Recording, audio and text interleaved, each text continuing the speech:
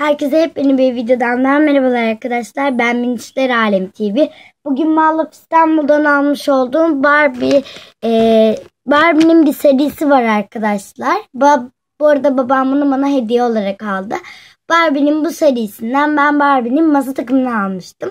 Şimdi Barbie'nin buzdolabını aldım arkadaşlar. Hemen hediye paketimizde gösterilecek bir şey yok. Hemen yırtarak açıyorum.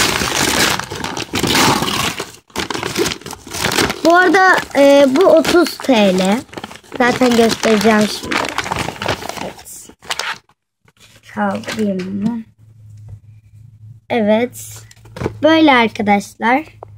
Şu şekilde. Böyle bir buzdolabımız var. Evet. Bakın burada fiyatının yazması lazımdı ama 30 lira arkadaşlar.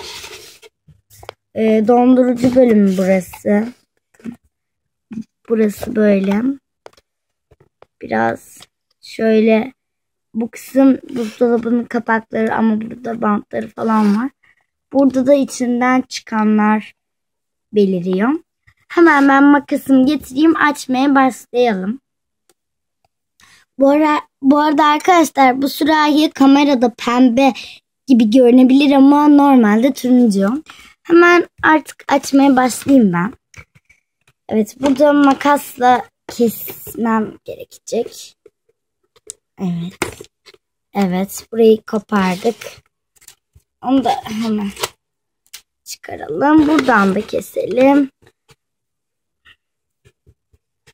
Şöyle. Evet. Evet. Az kaldı. Evet. Tamam. Çıkardım buzdolabımızı koydum. Şöyle. Evet arkadaşlar şimdi burada kalanları çıkartayım. Evet. Onları da çıkarmam için hemen çıkarmaya çalışıyorum. Evet. Evet. Evet. Biraz daha kaldı. Heh, orayı da makasla keseceğiz plastik. Ama kenara aldım. Evet. Şöyle yapayım ben biraz daha. Evet arkadaşlar şimdi buradaki malzemelerimizi çıkartalım. içerisinden çıkan. İlk olarak şöyle turuncu bir sürahimiz var. Böyle. Sonra hemen şurada da. Evet bunun ne olduğunu bilmediğim için ben kendi isteğime göre kullanacağım. Süt de olabilir bu. Bir de burada yumurtamız var. Şöyle ben bu yumurtayı çok sevdim. Şimdi buzdolabımızın içerisini göstereceğim size. Arkadaşlar gördüğünüz gibi buzdolabı müthiş. Bakın çıkıntılar var. O kadar çok şey yerleştirebiliriz ki. Raflarımız. Ondan sonra şurayı açayım. Bakın meyvelik sebzelik bölümü. Burası. Burası da dondurucu bölümümüz. Ama bakalım nasıl açılacak. Nasıl açılıyor bu bölüm bilmiyorum. Bu bölüm açılmıyor mu acaba? Evet bu bölüm açılmıyor. Bu görsellik olarak yapılmış. Ama gerçekten e, biz şu bölmeyi buzdolabı bölmesi olarak da ay dondurucu bölmesi olarak da kullanabiliriz.